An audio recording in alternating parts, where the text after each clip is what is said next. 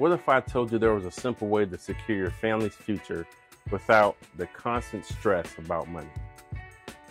Hey, I'm Anthony Doty, and I'm here to help you automate your routine, manage your, what matters, and dominate your financial future, one step at a time. If you're ready to build the financial confidence you've always wanted, let's dive in. So, balancing family needs while planning for the future can feel overwhelming.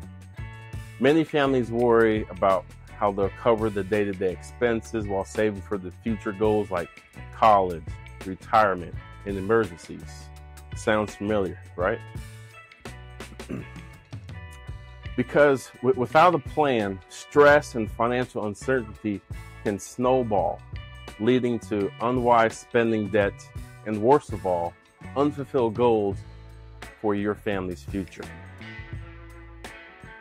The key to financial family planning is to prioritize what matters most, set clear goals, and create a simple, actionable plan. But why is this important? Because the choices you make today determine your family's financial security tomorrow. And why does financial security matter? It ensures your family can weather any storm, whether it's a job loss or unexpected medical expenses. Why not plan now? The earlier you start, the less stressful it will be, and the more likely you are to reach your goals.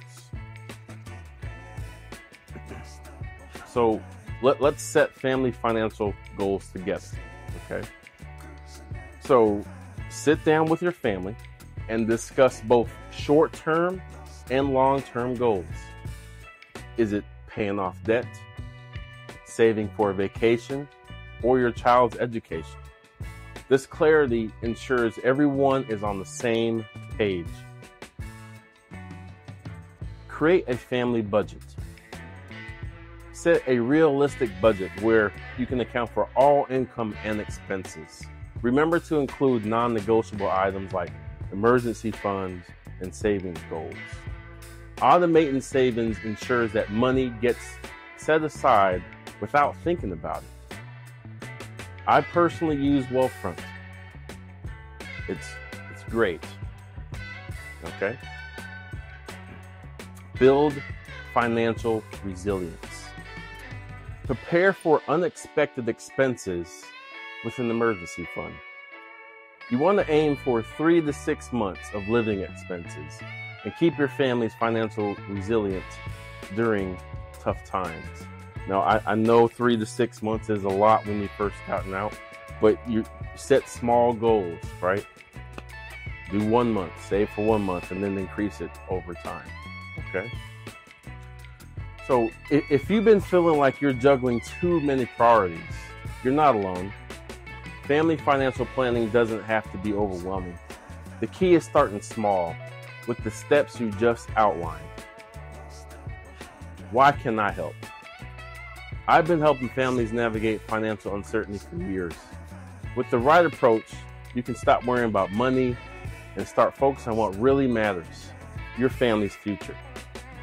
I've guided families through financial adversary, showing them how to create lasting financial confidence by automating managing, and dominating their money. Now, it's your turn. Start by sitting down with your family and talk about your goals. Don't forget to download my family budgeting template, link in the description below. Let's get started on dominating your financial future together. Thanks for sticking with me till the end.